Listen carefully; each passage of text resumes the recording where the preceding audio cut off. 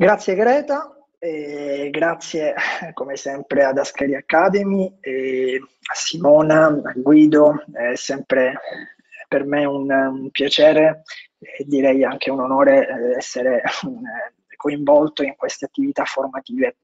E oggi siamo in questo percorso, eh, ci dedicheremo un'oretta di tempo insieme eh, per parlare mh, della joint venture sotto il profilo della legge italiana, eh, con qualche anche, perché no, esempio di natura internazionale, quindi a carattere sovranazionale, sotto il profilo eh, direi esclusivamente legale. Eh, per cui direi che possiamo iniziare subito a entrare nel vivo della questione. Dunque, cos'è la joint venture? Allora, mh, con il termine joint venture vengono indicate le varie e diverse forme di associazione temporanea tra due o più imprese, finalizzata all'esercizio di un'attività economica in un settore di comune interesse, come l'esecuzione di un'opera, la prestazione di particolari servizi, il compimento di un singolo affare. Entriamo subito con degli esempi concreti che ci ritroveremo poi man mano nel corso della presentazione, nel corso di questo incontro. Ipotizziamo il caso che io sia in Italia un produttore di un macchinario industriale mm, di elevato profilo mm, tecnico e che richiede evidentemente anche un grosso know-how. È evidente che come tutte le imprese voglio espandere il mio business e magari voglio espandermi all'estero. Prendiamo un, boh, un territorio a caso, non so, la Cina, il Brasile, gli Stati Uniti. È evidente che per poter entrare in quel mercato probabilmente ho bisogno di cosa? Di un partner. Ho bisogno di un partner perché eh, ho il macchinario più bello del mondo che mi produco in Italia, ma eh, se non ho, detto in maniera veramente semplice, l'aggancio in Cina, in Brasile, negli Stati Uniti, evidentemente per quanto il macchinario sia bello, eh, questo non è in grado di essere presentato sul mercato. E allora magari cosa mi vado a cercare? In Cina, in Brasile, negli Stati Uniti. Mi vado a cercare il partner attivo più o meno nel mio settore di riferimento, eh, che ha che cosa? La rete, per esempio alla rete commerciale, alla rete di vendita, alla rete di distribuzione. Quindi cosa abbiamo qui? Abbiamo un progetto in cui io sono l'imprenditore che ho il macchinario, il mio partner estero è l'imprenditore che nel suo stato ha la rete commerciale ci mettiamo insieme e creiamo un progetto uh, per lanciare sul mercato questo prodotto. Quindi capiamo bene che la joint venture è l'incontro di eh, due, eh, a volte anche più, ma per farla breve, due realtà imprenditoriali che ciascuna delle quali porta la propria competenza eh, e il proprio servizio tecnico rispetto ad un esito finale che deve ovviamente generare profitto e valore.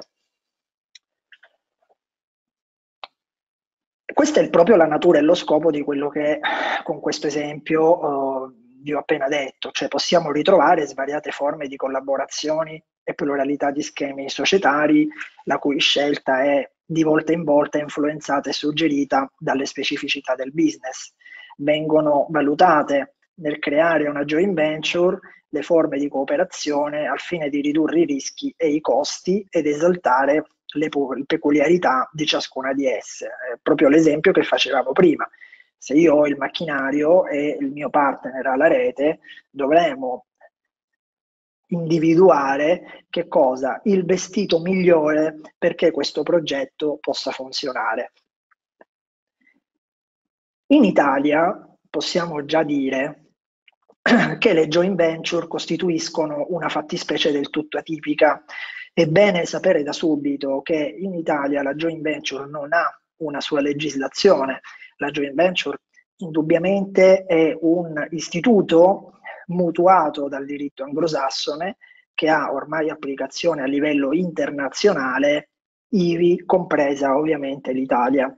Quindi quando parliamo di joint venture in Italia dobbiamo ipotizzare di fatto un'operazione tipicamente contrattuale e o tipicamente societaria, nel senso che come vedremo a breve la joint venture può essere solo contrattuale e quindi qui evidentemente il professionista deve avere una forte specializzazione nella materia contrattuale oppure la joint venture può essere societaria. In questo caso, accanto comunque alle competenze di tipo contrattuale che sono sempre necessarie anche nel diritto societario, è ovviamente richiesta una conoscenza direi anche del diritto societario.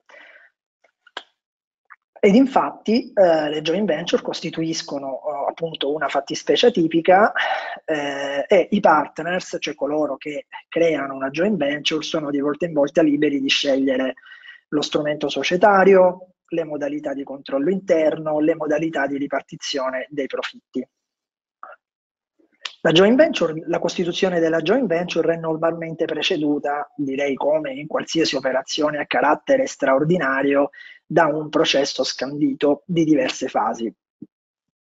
Prima di tutto, la presa di coscienza della necessità di un accordo per poter conseguire i vantaggi strategici. Torniamo all'esempio di prima. Io ho un macchinario stupendo, innovativo, super tecnologico, ma ovviamente per avere i benefici attesi dalla vendita di quel macchinario mi rendo conto che l'Italia non mi basta, devo internazionalizzare, devo vendere all'estero. E questa che cos'è? È la presa di coscienza, no? E a quel punto, una volta che prendo coscienza che il mio macchinario potrebbe avere fortuna in un paese straniero, cosa devo fare? Devo scegliere i partner con cui attuarli. Quindi si richiede una primissima fase puramente esplorativa di investimenti che serve per andare nel territorio, eh, come dire, target, che può essere anche l'Italia per uno straniero o un paese straniero per noi italiani, per individuare il partner ritenuto più affidabile.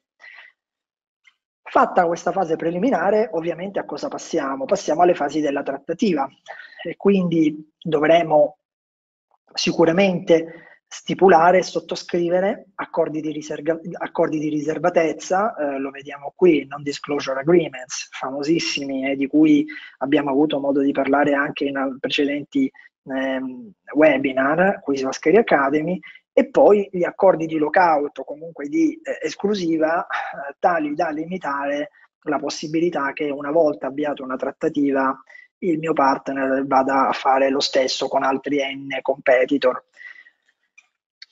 I motivi sono banali, se vogliamo. Se io ho il macchinario e il mio partner la rete, non possiamo subito sottoscrivere un contratto o costituire una società. Dobbiamo prendere conoscenza della realtà di ciascuno.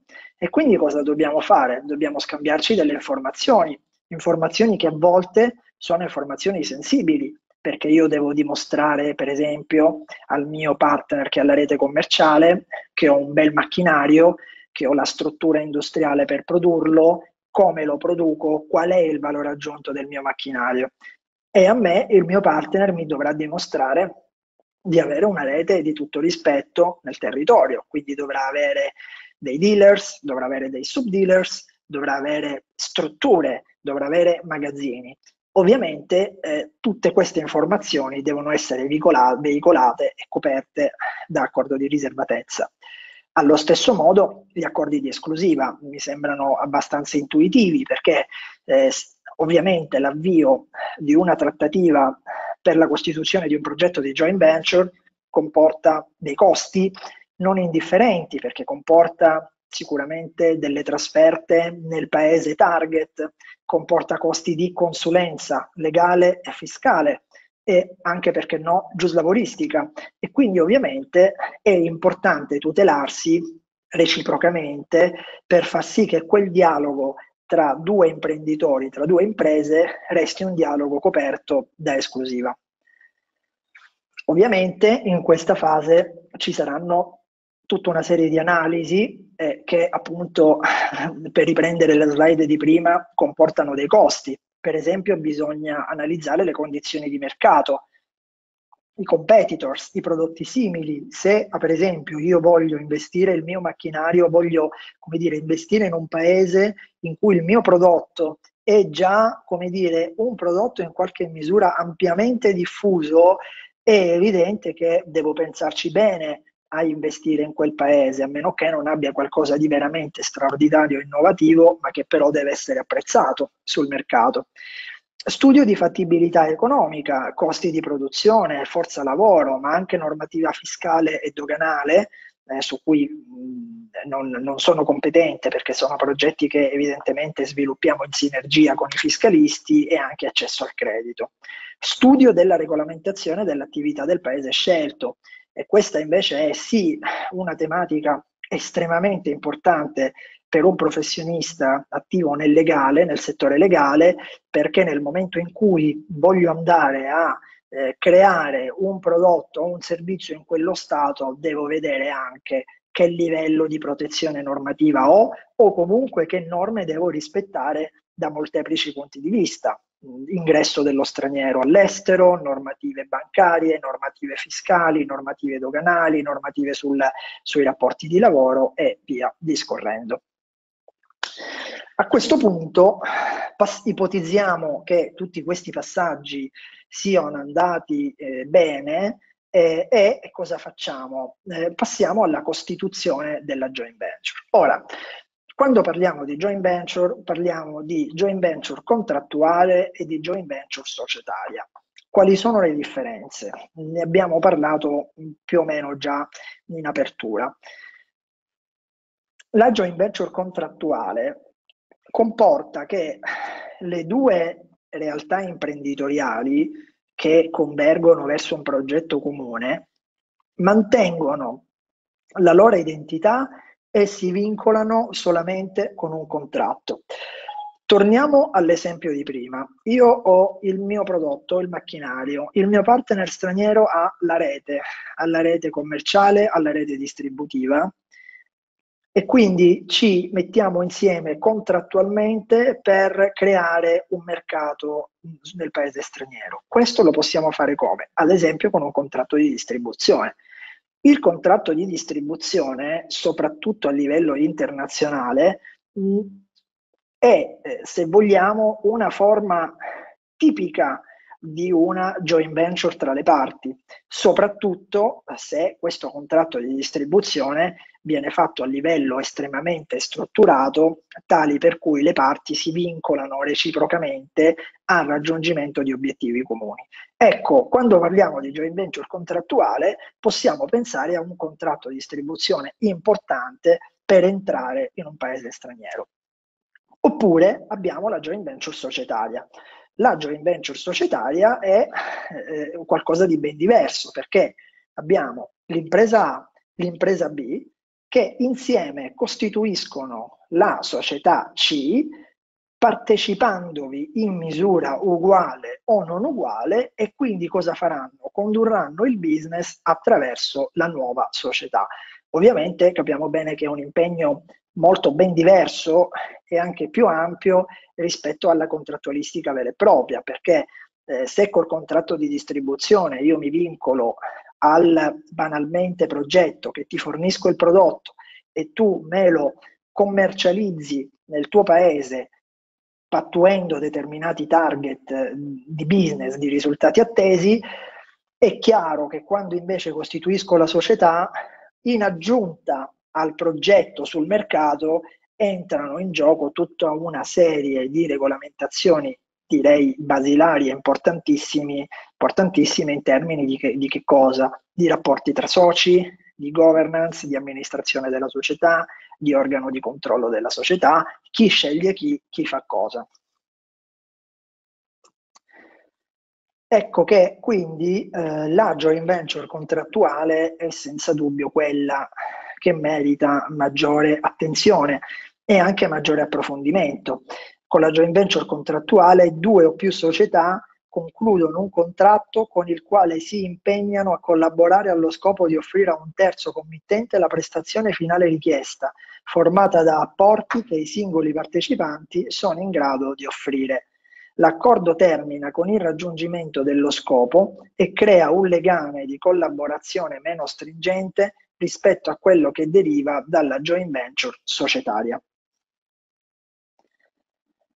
Il contratto di joint venture che cosa prevede? Innanzitutto le finalità dell'accordo e l'oggetto della futura attività, quindi se vogliamo il progetto di business, la struttura dell'organizzazione, il regime di responsabilità, la costituzione di un fondo comune, la misura di partecipazione ai risultati, la legge applicabile, la clausola compromissoria e il foro competente. Ora, senza limitarci a una mera lettura della slide, mi sembra chiaro che quando io devo fare un'operazione di joint venture, oltre al progetto in sé e per sé e agli obiettivi attesi, devo regolamentare anche la struttura, cioè che struttura utilizziamo per fare funzionare il progetto, che responsabilità abbiamo perché questo progetto, nel caso in cui questo progetto dovesse generare delle criticità, è evidente, torniamo all'esempio di prima, che se io produco il prodotto, se, scusate il giro di parole, cioè se io produco il macchinario, non c'è dubbio che debba attestarne la conformità alla normativa del luogo in cui lo devo andare a eh, vendere, non c'è dubbio che debba offrire un pacchetto di garanzia ufficiale, non c'è dubbio che debba rispondere di tutte le conseguenze dannose che derivano no? da un prodotto eventualmente difettoso. Viceversa, quindi ne rispondo in termini di, produ- di, produzione, viceversa è evidente che il distributore di che cosa più che altro deve rispondere, oltre che della veridicità del fatto di avere una rete commerciale, anche della solvibilità dei clienti, no? a cui questi prodotti vengono venduti. Quindi abbiamo dei regimi di responsabilità diversa a seconda di quelle che sono le eh, competenze e i servizi che eh, eh il facente parte della joint venture porta nel progetto. E eh, allo stesso modo bisognerà che questo progetto di joint venture sia eh, eh, capitalizzato in termini di appunto fondi a disposizione, questo per la verità più nella joint venture societaria, e bisognerà poi anche regolamentare in che misura si partecipano a quelli che sono i risultati attesi dalla joint venture.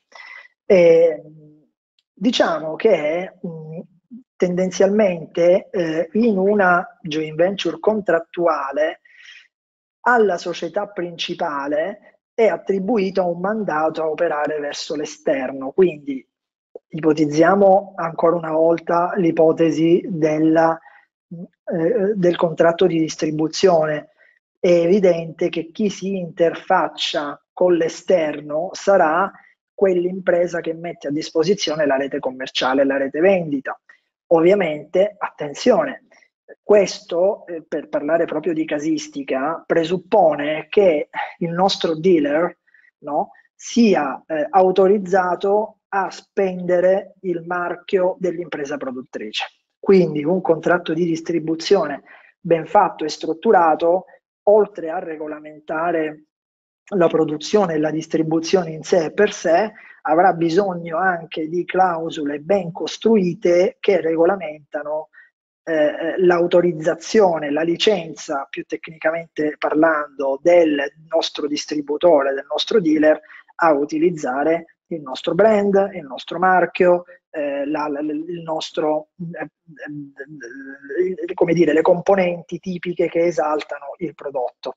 Questo per un determinato periodo di tempo e a condizioni ben precise, pena ovviamente la risoluzione del contratto.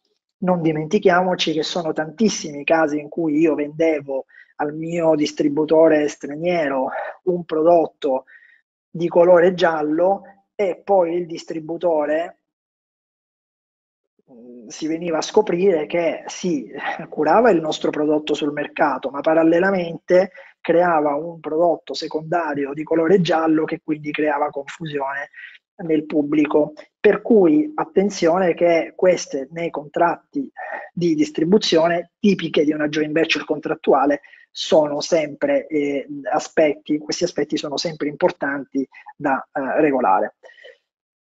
Invece, eh, quando abbiamo la joint venture societaria, eh, i partecipanti costituiscono un vero e proprio soggetto giuridico, come dicevamo eh, in, eh, in, apertura.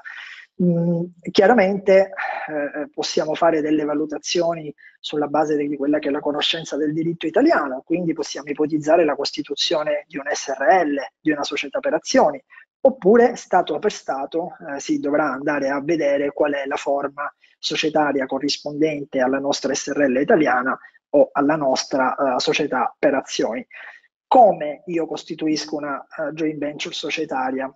Ricordiamoci sempre che a monte c'è sempre un contratto, quasi sempre un accordo quadro o accordi separati, per la verità questo un po' più raramente, o semmai questi accordi separati sono allegati all'accordo quadro. Per questo in apertura dicevo che quando parliamo di joint venture, di base è sempre necessaria una competenza a livello contrattuale, ma poi si rende anche indispensabile una conoscenza a livello societario. Quindi se devo fare una joint venture societaria, di base parto da un accordo quadro. Poi in esecuzione dell'accordo quadro costituirò la società. Qui abbiamo in questa slide alcune clausole, tipi, diciamo alcuni contenuti tipici dell'accordo quadro, che sono appunto gli accordi preliminari della società, le regole di funzionamento, la durata della società, le modalità di risoluzione dei conflitti, clausole di non concorrenza e ovviamente la legge applicabile o eh, il foro competente o la clausola compromissoria. Ecco, questo è importantissimo perché quando io scrivo un accordo quadro, evidentemente cosa devo fare? devo eh, eh, eh, declinare in maniera estremamente precisa il progetto e gli obiettivi, ma poi devo intervenire anche a livello societario, quindi in maniera estremamente precisa bisogna dire che tipo di società costituisco, entro, la sostituisco, entro quanto tempo la costituisco, dove la costituisco, con quali formalità, e quindi bisognerà conoscere la legge del paese in cui si deve costituire la società, Dobbiamo dire che capitale sociale ha la società, chi apporta cosa, chi apporta know-how, chi apporta beni. Dobbiamo ovviamente disciplinarne poi le regole di funzionamento. Tutto questo va messo nell'accordo quadro, di modo che quando andremo a costituire la società e a scrivere lo statuto o i patti parasociali, non faremo altro che dare esecuzione ad accordi già formalizzati. Gli accordi separati che regolano i rapporti possono essere avviamento, know-how, diritti di proprietà intellettuale, prodotti o servizi. Devo dire, per onestà, che comunque questi accordi o sono contenuti nell'accordo quadro o comunque devono essere tra loro collegati. Quindi bisognerebbe utilizzare la tecnica del collegamento contrattuale. Qui abbiamo una massima interessante relativamente recente del Tribunale di Milano che ci dice proprio questo, il contratto di joint venture che contiene anche l'impegno giuridico delle parti di rispettivamente cedere di acquistare le, parte, le partecipazioni di una società terza target può essere qualificato adottando i parametri interpretativi di cui agli articoli 1262 e 1263 come contenente anche un contratto preliminare di vendita rafforzato di partecipazioni sociali. Quindi l'accordo quadro, nella misura in cui regola questi aspetti, è stato proprio perché atipico, proprio perché non regolamentato, da recente giurisprudenza equiparato quasi a un contratto preliminare. Ovviamente di grande importanza sono anche le garanzie che i partner della joint venture si rilasciano reciprocamente, garanzie di tipo formale, e parliamo ovviamente di warranties, e garanzie di tipo sostanziale, cioè di representation. Um, di solito va bene, viene previsto anche un indennizzo da corrispondere ai soggetti della joint venture che abbiano subito dei danni a causa delle dichiarazioni non veritiere e corrette. Esempio tipico, io garantisco al mio partner italiano, io sono un bravissimo partner cinese, garantisco di avere la rete vendita e la struttura per commercializzare il prodotto. Eh, ovviamente me lo devi dichiarare e garantire nel contratto e dobbiamo anche prevedere quelle che sono una conseguenza di una mancata corrispondenza a quanto mi stai dichiarando, cioè se si scopre che tu non hai nessuna rete vendita, eh, abbiamo scherzato, come si suol dire, nel senso che abbiamo investito tempo e denaro, ma poi ti sei rivelato un partner non affidabile. Molto spesso la joint venture non, non si limita solo alla commercializzazione di un prodotto, si limita anche a una costruzione congiunta. Tipo, tipico esempio, io produco i componenti di un prodotto in Italia, li eh, trasporto nel paese target, potrebbe essere la Cina, come potrebbe essere gli Stati Uniti, un qualsiasi paese, e in quel paese vengono assemblati e finiti in base a delle tecniche di costruzione condivise. È evidente che il mio partner situato in Cina piuttosto che negli Stati Uniti mi deve garantire di avere che cosa? Strutture, mezzi e risorse e personale.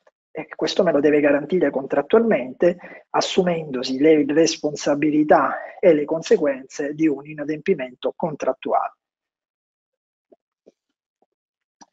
Quando parliamo di una joint venture societaria, ovviamente mh, dobbiamo mh, avere in mente quelle che sono quelli che sono gli atti tipici e, e quelle che sono poi le clausole tipiche di questo istituto. Qui intanto abbiamo messo le clausole statutarie, i patti parasociali, la clausola simul stabunt, simul cadent, le clausole di gradimento, i diritti di prelazione. Iniziamo a fare una breve carrellata eh, di questi argomenti.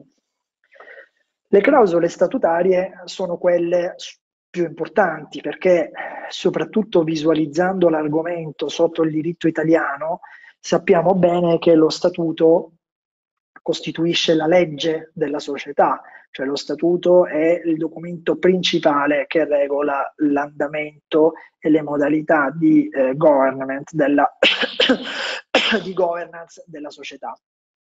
Poi abbiamo i patti parasociali che, eh, come sappiamo bene, sono di fatto dei veri e propri contratti, anche per la verità lo statuto è un contratto, ma i patti parasociali sono dei contratti a latere dello statuto che servono per mettere dentro tutte quelle pattuizioni che i soci della società non possono o non vogliono inserire nello statuto, viste le conseguenze sui documenti di cui poi parleremo. La clausola simul stabunt simul cadent, a proposito di casistica, è una delle clausole tipiche.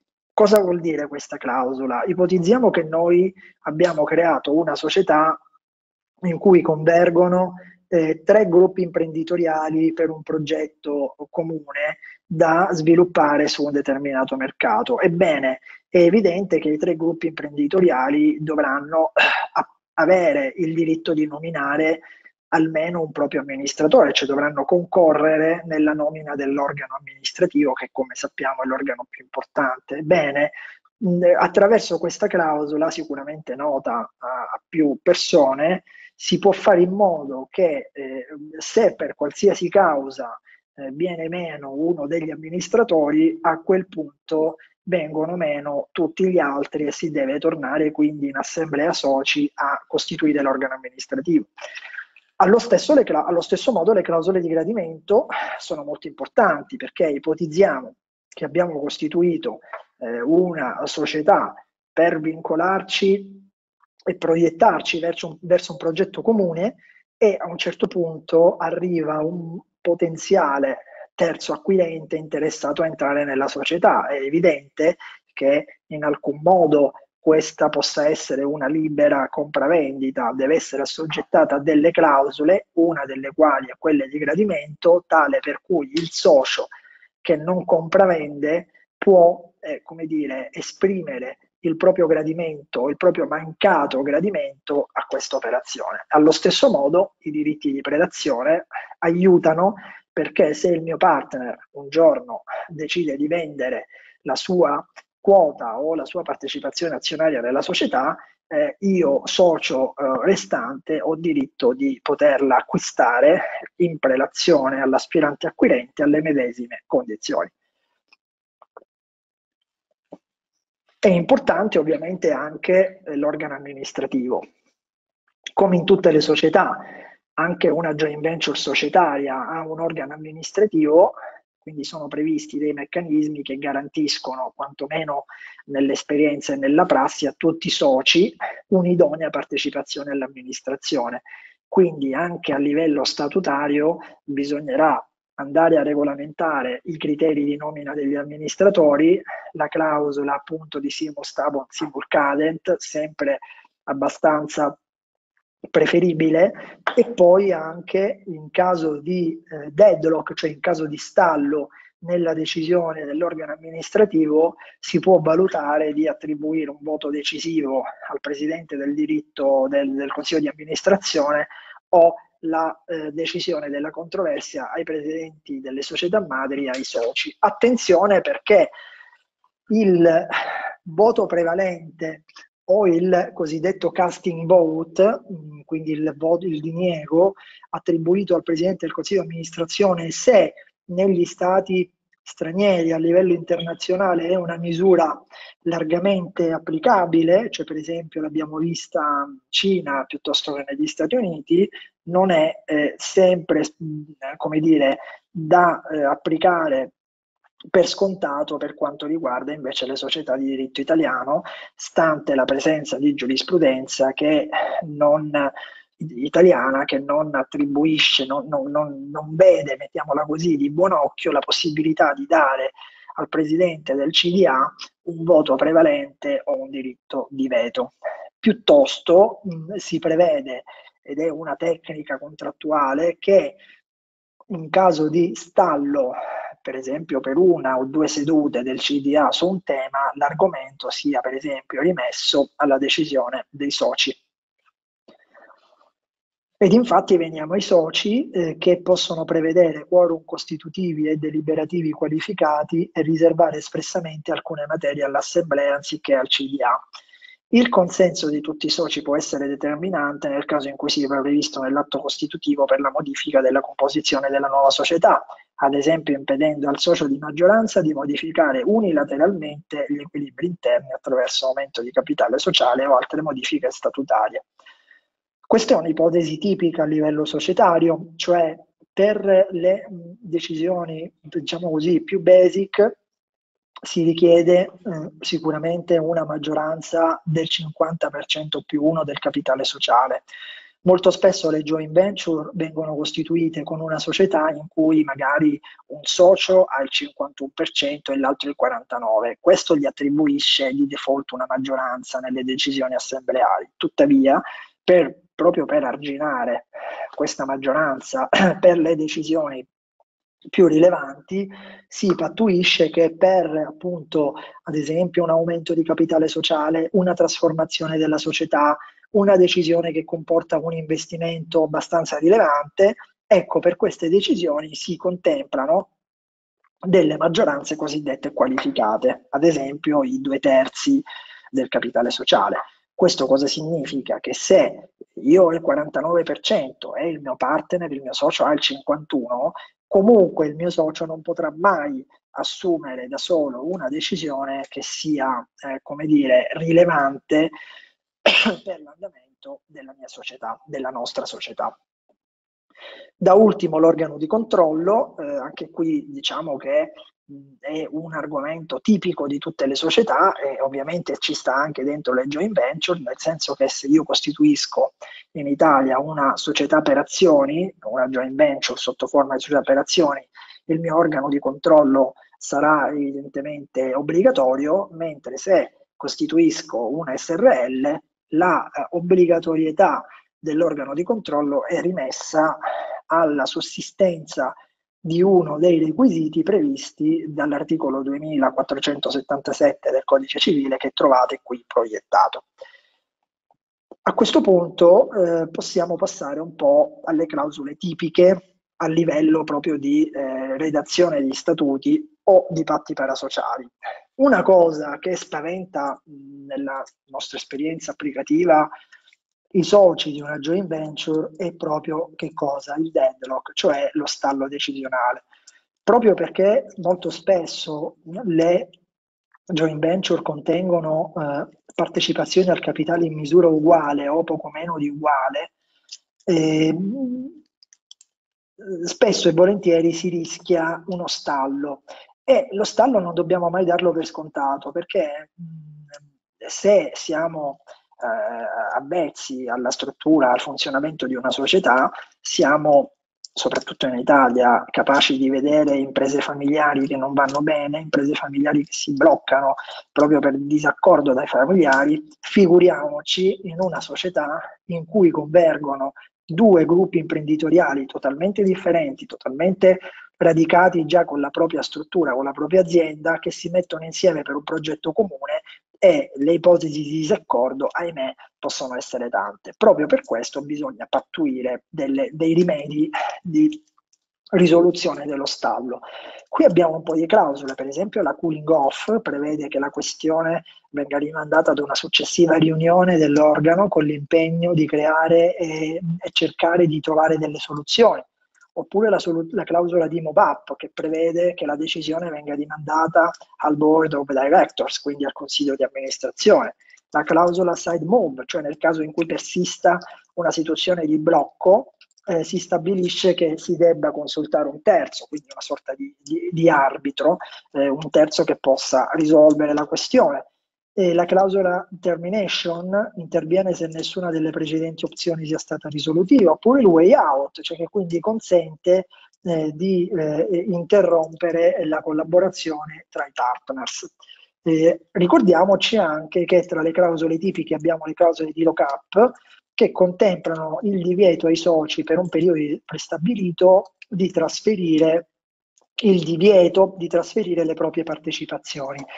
Il motivo è autoesplicativo. Eh, se eh, io, imprenditore tizio, mi eh, vincolo a imprenditore Caio, magari attraverso una società, per sviluppare un progetto, un prodotto, un servizio su un determinato mercato, è evidente che questo lo farò sulla base di un piano industriale, di un business plan che richiedono tempo per la loro applicazione.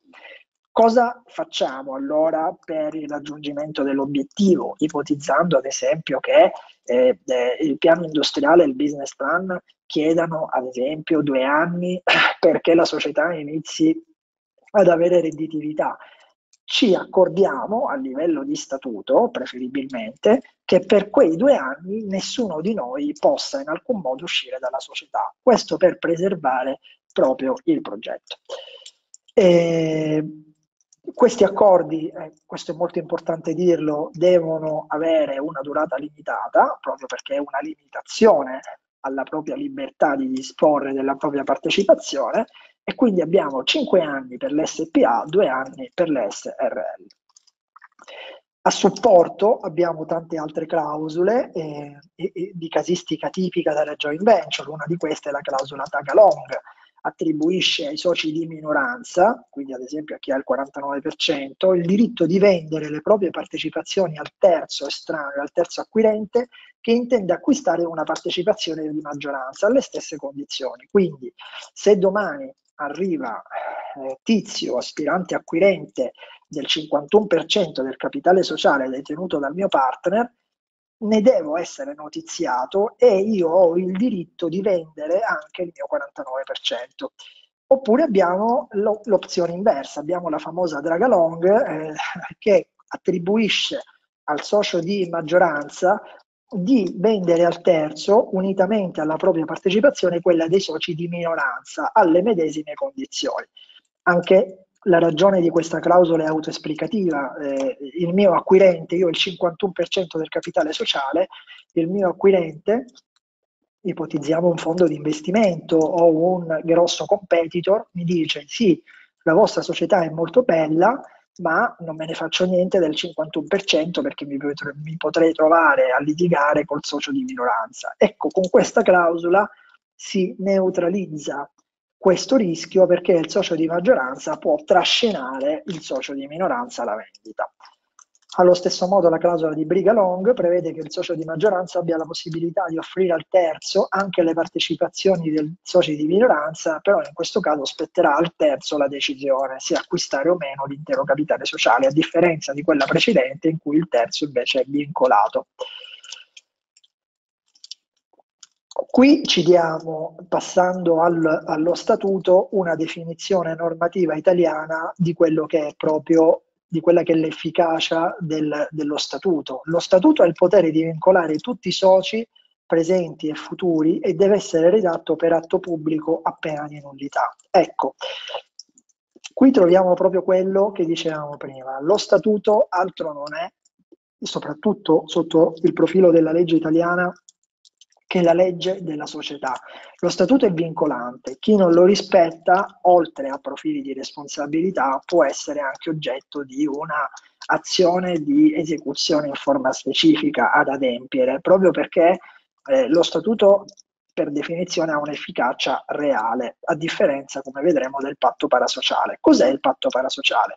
Il patto parasociale è una convenzione stipulata tra i soci fuori dall'atto costitutivo per regolamentare i rapporti intercorrenti fra gli stessi e stabilizzare gli assetti proprietari del governo della società. Tali accordi, a differenza dello statuto, hanno forza di contratto e valgono solo per i sottoscrittori. Ecco, questa è la differenza principale con lo statuto. Intanto lo statuto dura quanto dura la società, mentre eh, il patto parasociale può durare massimo 5 anni nelle società per azioni e per quanto riguarda le SRL italiane, per la verità questo limite si ritiene non applicabile, ma spesso e volentieri si utilizza lo statuto perché certe clausole non possono essere o non vogliono essere inserite eh, nello statuto e vengono quindi inserite nel patto parasociale. Ovviamente cosa si rende necessario? Si rende necessario un'attentissima valutazione eh, rispetto a quello che è l'esigenza del caso concreto.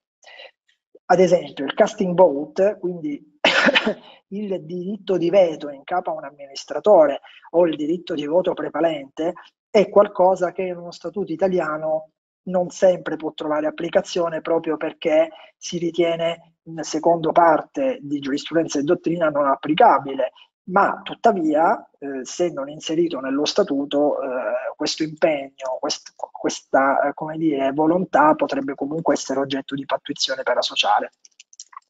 E così via, eh, se io non voglio eh, mettere nello statuto quelle che sono, eh, per esempio, i criteri di nomina del consiglio di amministrazione o quelli che sono i diritti dei soci, eh, determinati diritti, questi posso inserirli in un patto parasociale che tra l'altro, a differenza dello statuto, non è un atto pubblico, mentre lo statuto è liberamente consultabile, eh, il patto parasociale resta un contratto esclusivamente a livello privatistico.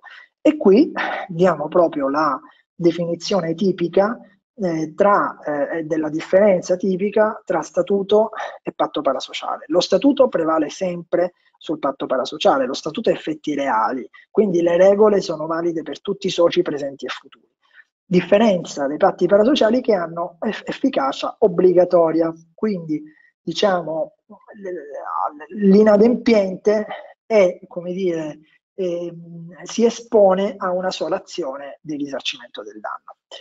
Io avrei concluso, eh, resto a disposizione di Greta e dei partecipanti per eventuali domande. Grazie ci chiedono come vede le clausole di put call oppure Russian roulette per soluzione dello stallo? Ma allora, bene entrambi, nel senso che, nel senso che la put call ovviamente eh, è un, se vogliamo, anche uno strumento abbastanza tipico eh, per, per, risolvere uno stallo attraverso una, una clausola eh, che si può bene inserire sia a livello statutario sia a livello di pattuizione parasociale, tale per cui in caso di stallo io esercito il diritto eh, di appunto put, quindi praticamente il diritto di vendere la mia partecipazione sociale, un po' meno per la verità la Russian roulette, perché ovviamente, eh, come dire, è un po' rimessa all'aleatorietà e non sempre incontra il favore degli imprenditori, perché ricordiamoci sempre che la, mm, la, la costituzione di una joint venture comporta soprattutto a determinati livelli di mercato, costi e investimenti e tempo, per cui la rimessione di uno stallo a una Russian roulette non sempre viene vista in maniera, mm, come dire, perfettamente risolutiva rispetto a quello che invece può essere per esempio una put eh, o eh, le altre clausole che abbiamo visto adesso. Grazie. Prego. Poi, allora ci viene chiesto, per i paesi in via di sviluppo, le joint venture che trovano la loro condizione di accordi per il commercio sono Sì. garantite riguardo alle norme internazionali sui brevetti, laddove alcuni paesi non hanno ratificato gli accordi. In quel caso le garanzie ricadono sotto il controllo del Ministero per il commercio per l'estero? No, se, no, se gli stati non hanno aderito alle convenzioni, e questo è un tema importante, bisogna stabilire qual è la legge applicabile al rapporto contrattuale. Eh, ovviamente, se, e questa è una delle analisi più importanti che deve fare un legale, cioè quando si crea una joint venture in uno Stato estero, bisogna prima di tutto decidere sotto quale legge l'intero rapporto contrattuale debba essere regolato, perché se assoggettiamo il nostro rapporto a una normativa locale che non contiene protezioni, e questo sinceramente è stato il caso della Cina fino a almeno 15 anni fa, questo comporta ovviamente il rischio che la nostra proprietà intellettuale sia copiata senza che vi siano delle protezioni importanti. Per cui un'analisi assolutamente imprescindibile proprio la legge applicabile o la convenzione applicabile ed eventualmente anche delle forme di garanzia. Grazie. Allora, rimaniamo in attesa di altre domande nel caso in cui ve ne fossero. Ecco, infatti è appena arrivata una. Ah, la violazione della clausola di prelazione, se contenuta sì. in statuto, consente al socio prelazionario di riscattare la quota azione ceduta? Gode di una tutela reale assoluta?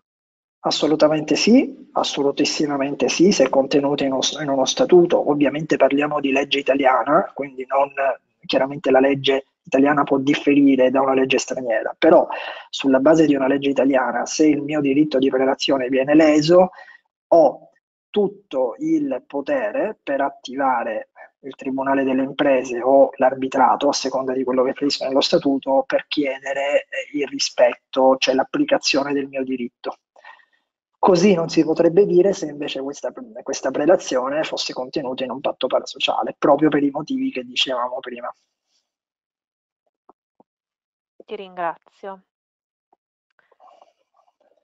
Poi un'altra domanda. Quali rimedi in caso di violazione di tutele e brevetti da parte di uno Stato come la Cina, dove i tribunali notoriamente danno sempre torto al contraente non cinese? Ottima domanda, il suggerimento è un arbitrato. I contratti a livello internazionale eh, devono sempre escludere, dal mio punto di vista, soprattutto se andiamo in stati normativamente, diciamo così, deboli o poco chiari, devono prevedere ovviamente a chi ci dobbiamo rivolgere se iniziamo a litigare? Bene, bisogna strutturare una clausola arbitrale, cioè evitare di andare a finire nei tribunali eh, nazionali esteri dove chiaramente eh, bisogna parlare la loro lingua, mentre con una clausola arbitrale di rango internazionale eh, ovviamente le regole del gioco cambiano mi rendo conto che chiaramente aggiungo ovviamente un arbitrato, soprattutto magari per esempio un arbitrato svizzero o un arbitrato francese a costi ben più ampi ed elevati rispetto a una causa in un tribunale, ma dall'altro lato ha la, eh, come dire, la sicurezza che sia eh, che il caso sia affrontato in maniera seria in tempi anche abbastanza rapidi. Grazie. E poi lo stesso partecipante ci ha appena scritto un'altra domanda in chat. Ma quali garanzie che il lodo risolto a favore del contraente non cinese venga osservato? La garanzia sta nel fatto che il cinese che firma il contratto si vincola al rispetto di quella convenzione, di quella clausola compromissoria e quindi avendo firmato un contratto che tra l'altro può essere regolato non dalla legge straniera, ma da una convenzione internazionale piuttosto che dalla legge italiana, in quel caso lì è evidente che il cinese non, non, non avrebbe, cioè comunque il cinese, stiamo dicendo il cinese, ma comunque la, la, la, il nostro partner straniero non potrebbe esimersi dal eh, assoggettarsi alla, alla clausola arbitrale.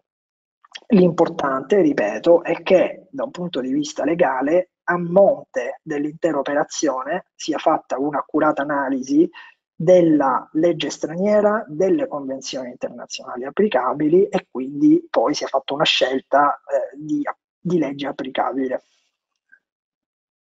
Eh, mi sembra di aver detto tutto, quindi Domenico io non mi resta che ringraziarti. Grazie a voi. Eh, è stato un piacere averti qui con noi, grazie per la tua disponibilità e ringrazio ovviamente tutti coloro che, che ci hanno seguito e che hanno partecipato al webinar di stasera. Grazie di nuovo e buona serata a tutti. Arrivederci Greta e buonasera a tutti. Arrivederci.